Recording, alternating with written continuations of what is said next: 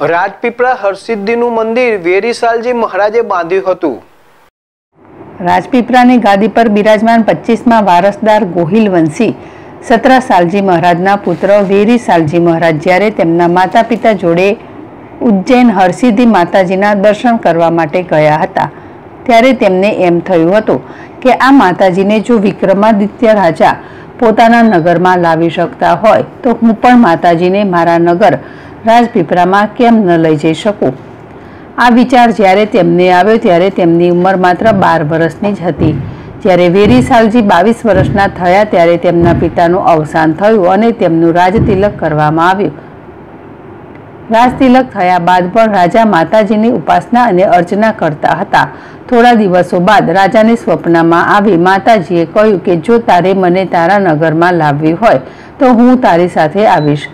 રાજાએ તરત જ ઉજ્જૈન જવાનું નક્કી કર્યું અને રાજા માતાજીના મંદિરમાં પહોંચીને પૂજા વિધિ કરવા લાગ્યા. ત્યારે તે સમયે માતાજીનું કંકુ લેવાનું ભૂલી ગયા અને તેમને કટારથી તેમની આંગળી કાપીને માતાજીને તિલક કર્યું.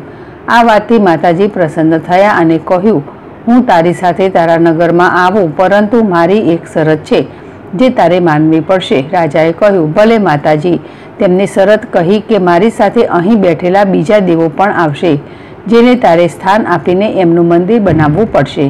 રાજાએ શરત માની લીધી, પછી માતાજીએ કહ્યું, કે તું ઘોડા પર ચડીને આગળ જા, હું તારી પાછળ આવું છું અને તું જ્યાં પાછળ વળીને જોઈશ ત્યારે હું તે જગ્યાએ મારું સ્થાનક માનીને તે જગ્યા પર સ્થાન ગ્રહણ કરીશ. રાજા ઘોડા પર બેસીને રાજપીપળા તરફ રવાના થયા. માત્ર ત્રણ કલાકમાં જ માતાજીની કૃપાથી ઉજ્જૈનથી રાજપીપળા પહોંચ્યા. નગર આવતા તેને થયું કે માતાજી આવે છે કે નહીં, લાવ જરા નજર કરો. ત્યારે માતાજીએ તે જગ્યાને સ્થાન ગ્રહણ કર્યું અને રાજાએ ત્યાં જ માતાજીનું ભવ્ય મંદિર નિર્માણ કરાવ્યું હતું.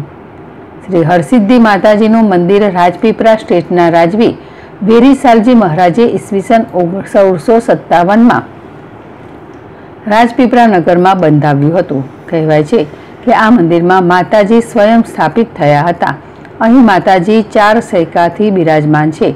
આ મંદિરમાં શક્તિ સ્તંભ પણ આવેલો છે. જ્યારે મંદિરનું નિર્માણ થયું, ત્યારે જ અહીં આ શક્તિ સ્તંભની સ્થાપના કરવામાં આવી હતી.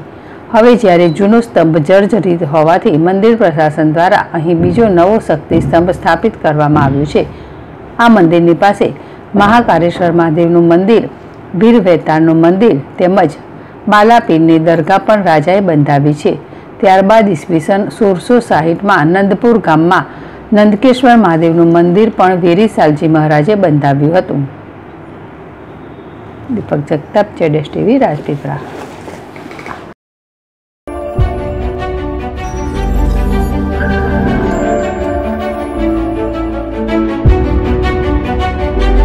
પ્રાંતિજ શહેરમાં ધમાકેદાર એન્ટ્રીની સાથે મધુરમ બ્યુટી કેરની શરૂઆત થઈ ચૂકી છે.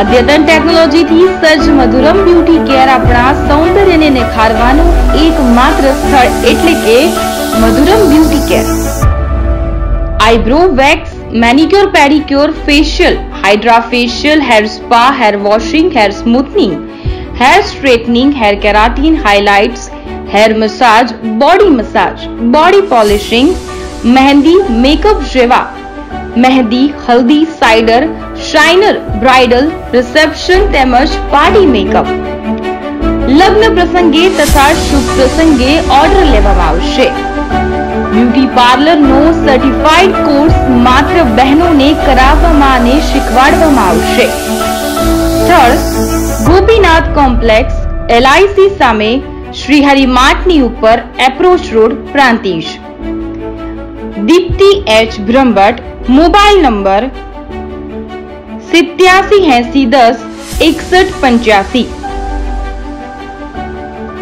eight seven eight zero one zero six one eight five